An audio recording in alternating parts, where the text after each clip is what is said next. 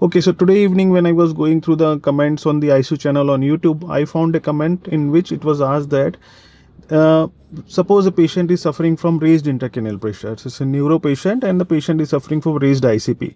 So whether we should switch from D5 which is an hypotonic solution to D10 which is an hypertonic solution, whether it will help it out or not. So I know many of you know the answer, but I found that that this question needs to be addressed uh, very uh, promptly or on an urgent basis because there is a basic misunderstanding flaw in this question. So so all those who are listening listen it very very carefully that this concept you should understand and you should make your colleagues your juniors your nursing staff everybody who is working in the intensive care and emergency they should understand this concept especially when it in terms of iv fluids so i hope um, uh, you are not uh, bothered or by the background which i'm where i'm recording it. It's uh, i found this place to record this.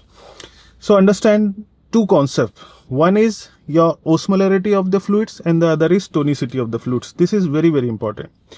When we talk about osmolarity of the fluid it means that in a given solution in a given solution how many osmoles or molecules are there in the fluid? That's all we are not bothered about anything else.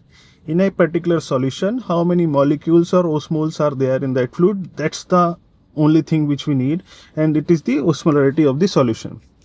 Now when we talk about the tonicity of the solution it is always a comparison between two fluids and there is a semi-permeable membrane in it.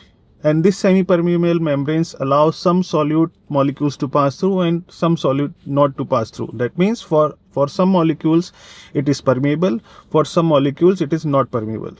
So when we talk about the tonicity the tonicity of the fluid is decided by the molecules which are not permeable to that semi-permeable membrane.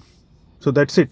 So this is very very important. When i when we are talking about the osmolarity of the solution no comparison. There is a fluid and there are a set number of osmoles in it. That's it.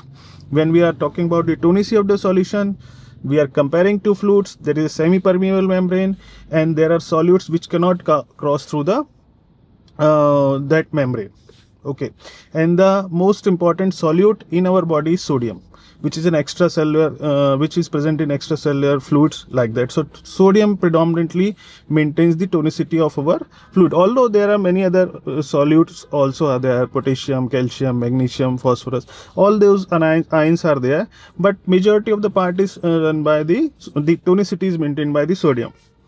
Now thirdly you need to understand that how the movement occurs. So whenever there is a tonicity there are two solutions the two, one is hypotonic and one is hypertonic. Hypertonic means the the uh, fluid is more concentrated the amount of solutes are more in it and hypotonic solution means the amount of solutes are less in it. So if we consider that for example sodium. If the sodium in this solution is more it is will called hypertonic. If the sodium is is in the solution is low it is called hypotonic. And why we are uh, calling sodium? Because in our body it maintains the osmotic uh, sorry it maintains the tonicity of the fluid. So where fluid will move? From less concentrated means hypotonic solution to the hypertonic solution. It's the fluid which moves the water. The water moves from hypotonic solution to hypertonic solution across that membrane to make it equally balanced. So this hypotonic solution, the fluid, here solutes are less, fluid are more. The fluid will move, solutes cannot move. Fluid will move and make this also equal to this solution. So both of them will become isotonic. So that's the amount of, uh, that's the principle of movement of fluid. So now coming back to our question. Now, when we are talking about D5 or D10% solutions, what is happening? The glucose in the in our body is freely permeable in the intravascular compartment and in the intracellular compartment. It can move freely. So as soon as you give any solution which is containing just the glucose whether it's d5 d10 d50 the glucose goes into the intravascular compartment and then because it is freely movable it moves from intravascular compartment to interstitium in the intracellular compartment and get utilized. So what remains is only the free water so free water is actually hypotonic as compared to the intracellular compartment to the cellular compartment. So this free water moves from intravascular compartment to your intracellular compartment and will make the cell swell and it will raise the intracranial pressure that's why any solution any solution which is containing just dextro dextrose whether it's d5 d10 d50 d25 it's hypotonic when it goes into the body oh it may be hyperosmolar.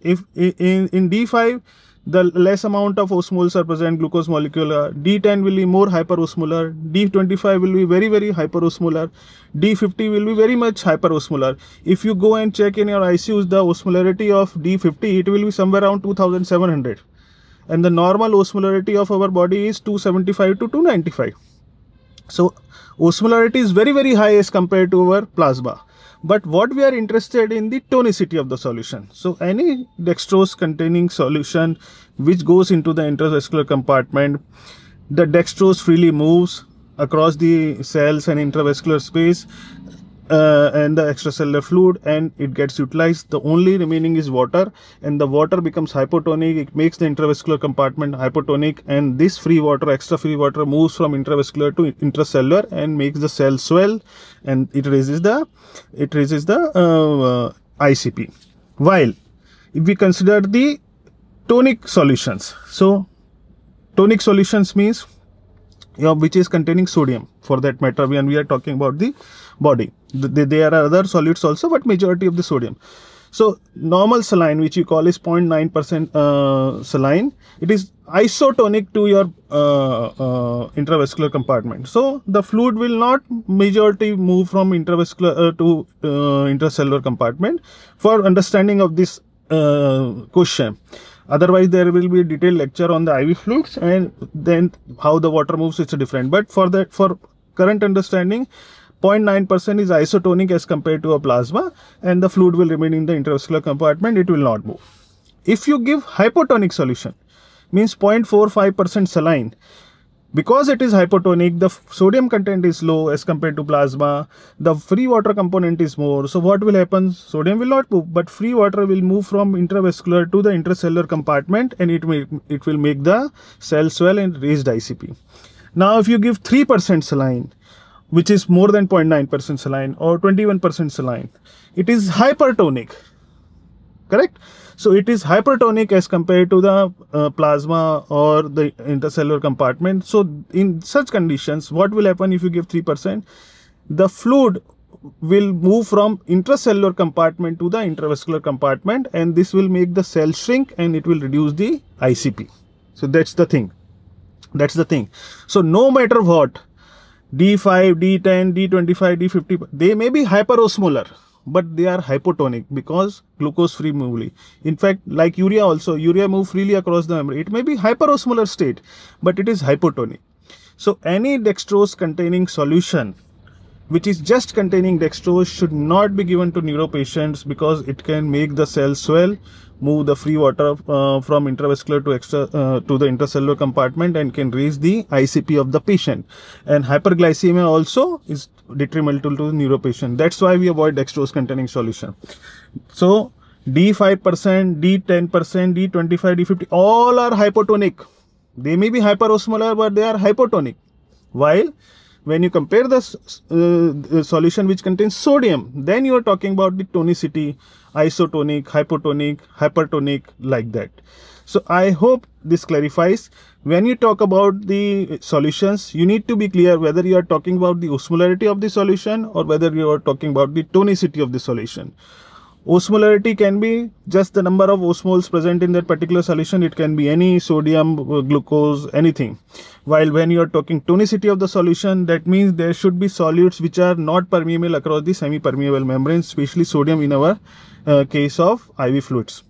So, um, thank you for asking this question and sorry I am recording in a, a place where I got the time. So thank you and see you in the next video and please, please, please do read about this concept. Thank you.